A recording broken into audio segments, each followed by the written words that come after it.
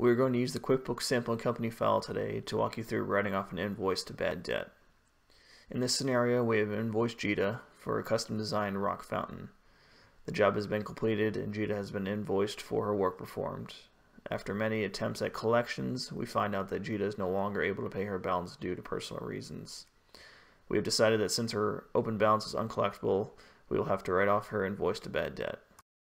There is a simple two-step method that you can use to write off the invoices to bad debt. However, there are two setup steps that you'll need to accomplish first before you can use the simple method. First step in the setup, if you have not created the account already, you'll need to create the bad debt expense account. To start off this step, you'll click on Accounting, Chart of Accounts. Click on the green New button at the top right. On the account type, click Expense. On the detail, click Bad Debts, and then click the green button Save and Close. The next step in the setup process, we're going to create the bad debt line item under the Product and Service section. Click on Sales, Products and Services, click the green New button at the top right, select Service, type in Bad Debt, under the income account, select the bad debt account we just created, and then click Save and Close. Now that you've created the bad debt expense account and the bad debt products and services line item to use on the credit memo, you're ready to start writing off invoices. To create the credit memo, you want to click on the plus icon at the top left, click on credit memo, enter the customer's name, Select the date you're writing off the invoice. Select the bad debt product and service we did.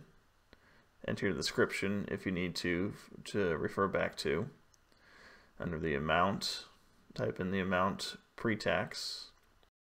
If this item is subject to sales tax, make sure you check the box under tax. If it doesn't fill in for you, make sure you select the proper sales tax rate. Once your credit memo balance matches the outstanding balance owed plus the tax, then click on the green Save and Close button.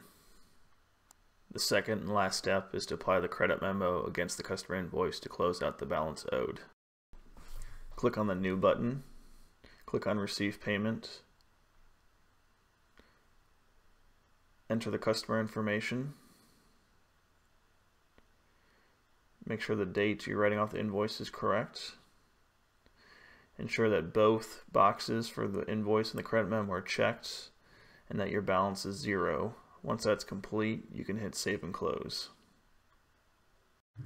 At this point in time, your job is done. The customer balance has been written off to zero, and you can move on.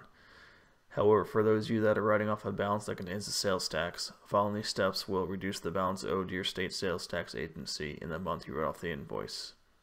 For your knowledge, I wanted to show you the result in writing off the invoice for Geeta in March and the corresponding reduction in sales tax since her invoice balance was not collected. Since we invoiced her in the same month we wrote off the invoice, both transactions take place in the same month. If you were to invoice in one month and pay sales tax on the invoice, then write off the invoice in the following months, you will see a reduction in sales tax in the month the invoice is written off.